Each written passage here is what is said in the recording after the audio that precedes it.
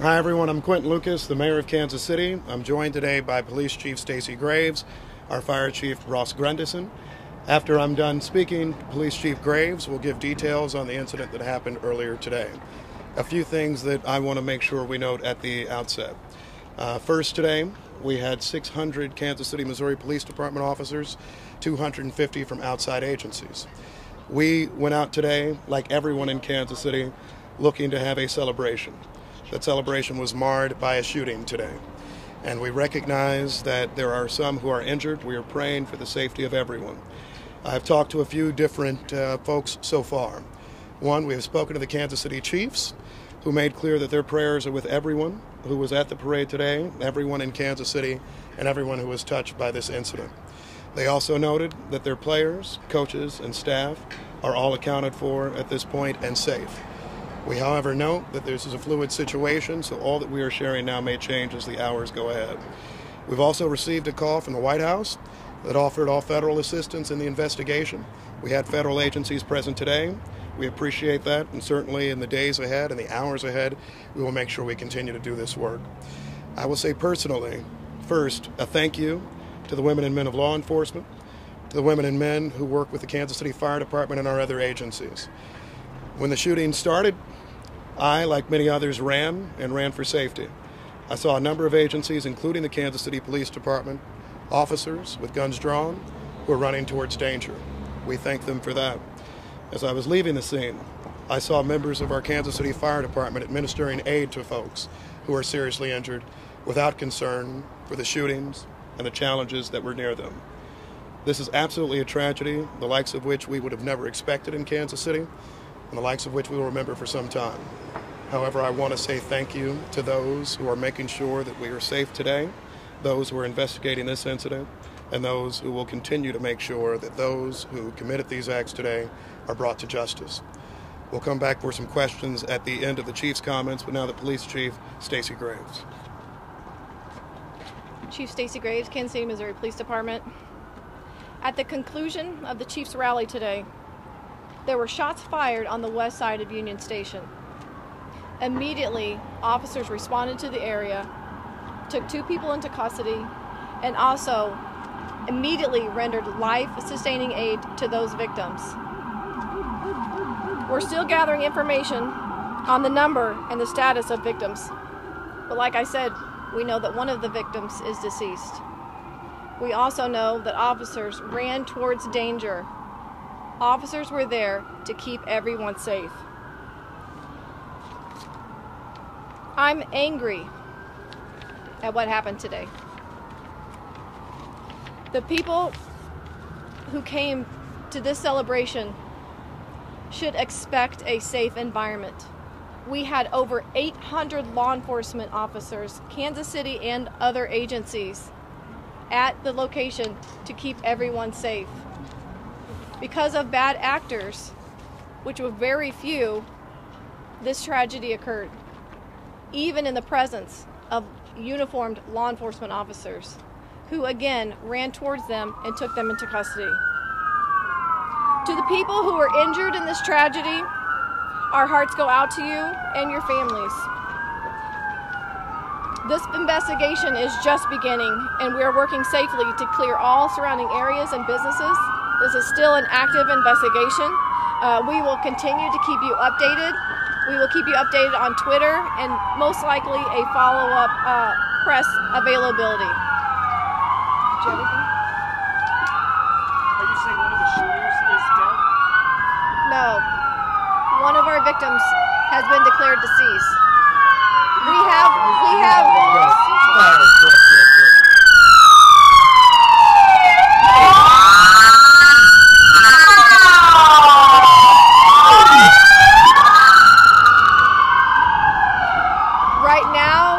up to 10 to 15 injured. like, that again?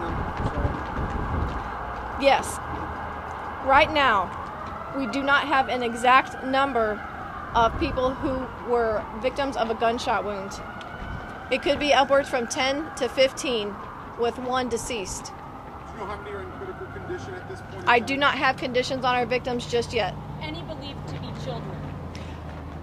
I don't. I do not believe that any of them were children. Any law enforcement injured in this? First response? Um, nothing of note.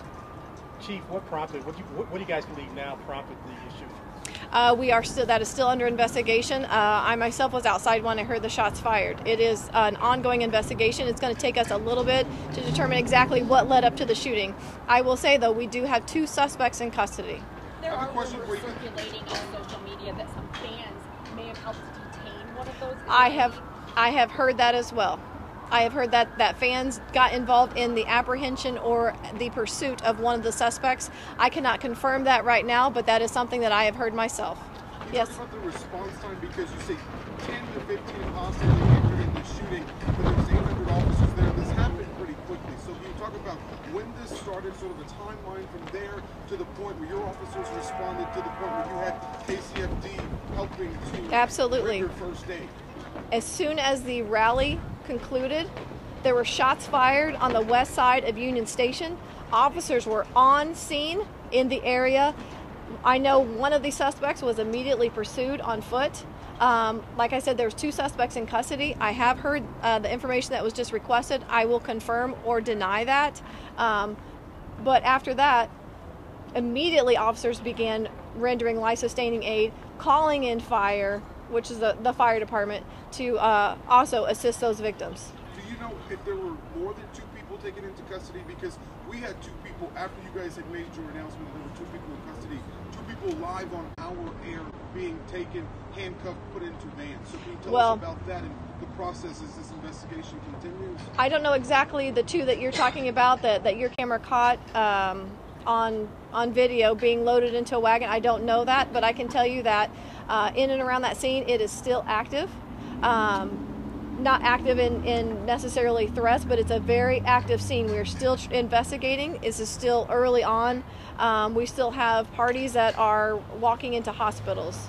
Chief Graves, do you know anything about the suspects in terms of where they're from? Are they from Kansas City? I do not know that, but that's something that, that I also will be finding out. Two questions. We were hearing upwards of maybe 20 shots. Can you talk about the number that you heard while I'm there? hearing 10 to 15, possibly 15, with with the one um, that is um deceased. And do you know anything about the timing? It seems odd that it's waited to the very end of the rally. I don't have anything about. I, I can't give you an answer on the timing. I can just say that. Uh, that's when it occurred, and we are investigating what led up to that. Maybe once we get some of those details, we'll know why that happened at that time. But right now, it's just it's still too new. Chief, was, Graves, it, my Chief, was it just one incident or multiple incidents that, that injured multiple? That is something that that is under investigation. Mayor Quinton Lucas, you talked about how you were on the ground and you yourself had to run for safety. And I understand we're, we're still waiting on a timeline and I'm trying to understand what exactly happened. But we were having a Super Bowl parade, and this is what the country is talking about now. What is your message to this city at a time like this? I second the comments by the chief of police. I'm heartbroken. First of all, I'm praying for the victims and the families impacted. I start with them. Um, I'm incredibly upset, disappointed. I was there with my wife. I was there with my mother. Uh, we never would have thought that we, along with Chiefs players, along with fans, hundreds of thousands of people, would be forced to run for our safety today. I think that I'll let the investigation shake out before coming to any further conclusions, but I think the initial response absolutely is anger. You know, we have done a number of these now, and this is a day that a lot of people look forward to, something they remember for a lifetime. And what they shouldn't have to remember is the threat of gun violence marring a day like this, injuring them and their families. This morning, I was actually thinking about bringing my child, as many people in Kansas City did. And I don't want us to have to, in our country, for every big event, think about a concern of being shot. As the chief noted, we had a lot of law enforcement officers there today. They did exceptional and outstanding work, and I will second that again. Because on your timeline point, I was inside of Union Station. We heard something. Number of us start running, and I see a stream of officers going the exact other direction. In, with guns drawn, ready to address danger. And that was the, the situation throughout. People who responded absolutely immediately. But I wish that we lived in a world where they wouldn't have to do that. I wish we live in a world where we wouldn't have to see incidents like that. but I'm as heartbroken as anybody.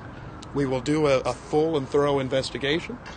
I hope that we bring whoever this is to justice, and we will continue to try to make sure that we can be as safe as possible. However, when you have people who decide to bring guns to events, when you have people who are deciding to try to mar events, celebratory ones like this one, all of us start to become members of this club that none of us want to be a part of, which is those who have experienced mass shootings. I hope for Kansas City this is one of the last times we experience them. Were, Just were any the players in any danger at any point? What's that? Sorry, Were I'm any going. players in, in danger at, at any point?